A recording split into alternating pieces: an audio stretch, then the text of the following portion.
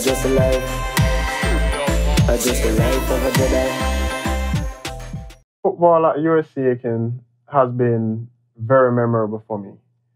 Um, the most memorable year being that of the 2014-2015 soccer season for uh, men.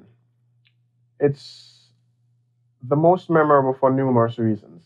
Not just that it's the year that the school had the most successful record, or it's the year that I had the most accolades that I've ever received throughout my tenure at USC Aiken. But the team itself was different, very diverse with several players from all over the world, ranging from North America, America, South America, the Caribbean, Africa, Europe. We all came together with one common goal, speaking one language, that of football, or as we call it here, soccer. The entire season is definitely one to remember playing on the field, but off the field it was fun as well. For example, my roommate for two years, Gabriel Locho, came from Brazil, didn't speak a ounce of English apart from hello or goodbye. But yet still, he was able to go ahead and develop a rapport, and that developed into a brotherhood with not just me, but the other Jamaicans that lived in our apartment with us.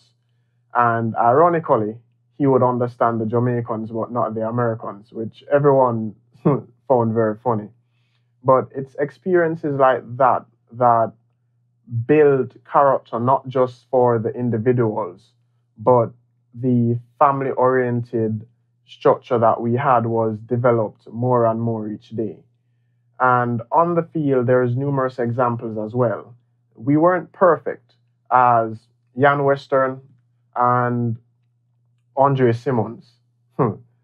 They were always at it, but whenever called upon to produce, they never faltered. Um, I remember even Andre Simmons as a freshman coming in um, as chasing the leading goal scorer title. And we received a penalty kick, and me being the designated penalty kicker, I was able to look past the fact that, hey, this is my penalty and I'm obligated to take it. And I was able to give it to him to allow him to put his name on the score sheet for the first time that season.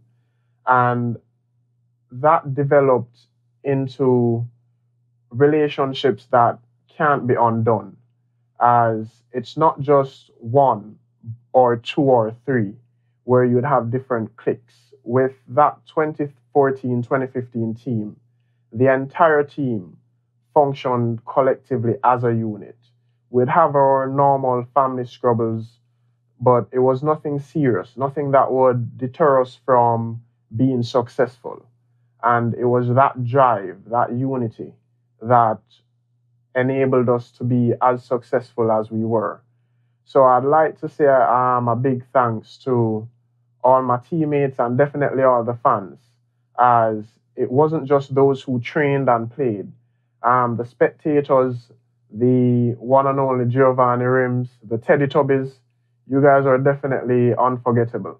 As for each goal that we scored, we were able to run into the stands and celebrate with you guys who were always present.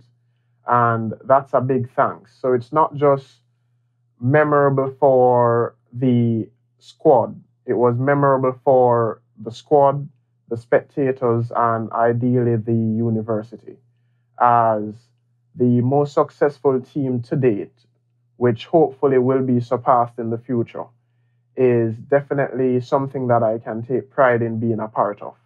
And as usual, I'd like to express the love um, towards my teammates, as without you guys, I wouldn't have achieved all that I have achieved.